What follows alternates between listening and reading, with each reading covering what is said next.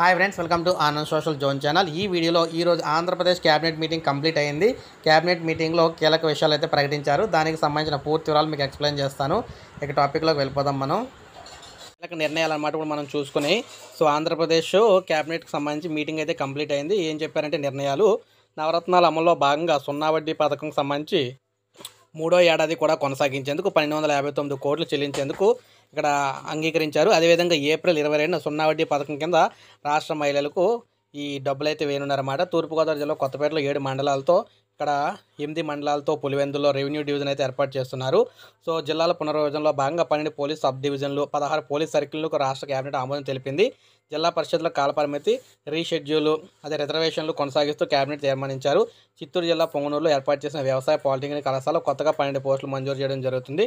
So మొత్తంగా చిరుధాన్యాల పంటలను ప్రోత్సహించి కేపీ మిల్లెట్ మిషన్ను రెండు వేల రెండు ఇరవై మూడు నుంచి రెండు వేల ఆరు ఇరవై ఏడు వరకు కేబినెట్ ఆమోదించింది.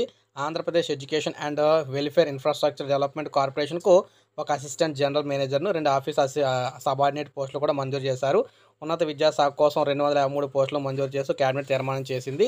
సో రాష్ట్రంలో వివిధ ప్రాంతాల్లో ఏకలవ్య పాఠశాల ఏర్పాటు కేబినెట్ ఆమోదం తెలిపిందనమాట కర్నూలు జిల్లా కులిమిగుంట్లలో ఎనభై రెండు ఎకరాలు నెల్లూరు జిల్లా ముత్తుకూరులో పారిశ్రామిక పార్కు కోసం ఎనభై నాలుగు ఎకరాలు కేటాయించారు. ప్రభుత్వ వైద్యులు ఎవరు కూడా ప్రైవేట్ ప్రాక్టీస్ చేయకుండా నిషేధించే తీర్మానం కేబినెట్ ఆమోదం తెలిపింది.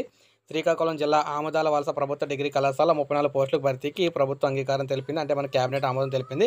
సో మొత్తం మేము చూసుకున్నట్లయితే ఇవి కేబినెట్ చేసిన అతి కీలకమైన ముఖ్యమైన అంశాలు అనమాట సో ఇందులో సున్నా వడ్డీ పథకాలకు సంబంధించి చూసుకున్నట్లయితే సున్నా వడ్డీ డబ్బులు జమ చేయడానికి పన్నెండు వందల యాభై తొమ్మిది కోట్లు రిలీజ్ చేశారు.